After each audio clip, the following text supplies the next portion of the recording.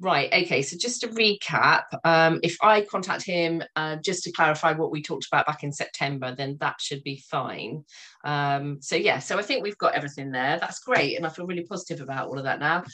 Uh, I'm just starving, and uh, I, I am just... jealous, Shelley.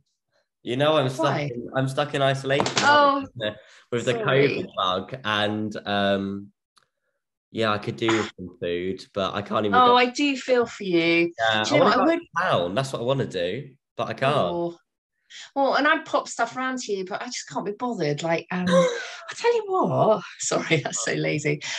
Um, although, have you used Just Eat yet? Because I was looking at this the other day, right? Hold on a sec, and I'll just go through it with you. There are so many of our town centre businesses. Well, the independent ones yeah, particularly independence, weirdly. Oh, like, okay. Not weirdly, I just wouldn't have um, realised that. But I was looking at it the other day, um, and there are loads. Oh, great. So, on. Just to say, if you go through it right, what do you fancy? Because you can order this right now. So you've got grilled cheese cafe, oh. far away pizza, Captain Meze, Shahi Raj, Peking Chef, Caprinos, Showboat, Southern Fried Chicken, Frango Grill, Chickerland, Seamaster. Oh my God, the list goes on.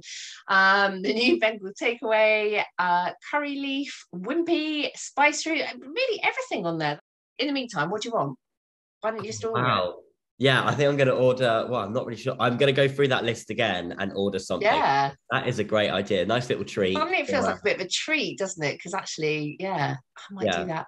Yeah, especially in January. I think I need that. Like, even if you're not in isolation, it's a good idea. So that's that's a good yeah. suggestion. I'm going right on there now. Anyway, I really do need to go because I've got another meeting. All right. Um, I wish you better. I do feel for you. Thank you. I might actually pop into town, but I'm, I can't bother to come around to you. So. All right. Anyway. All right. Take care, lovely. Bye. Oh, nice trousers. oh, I left the camera on. Uh, oh no.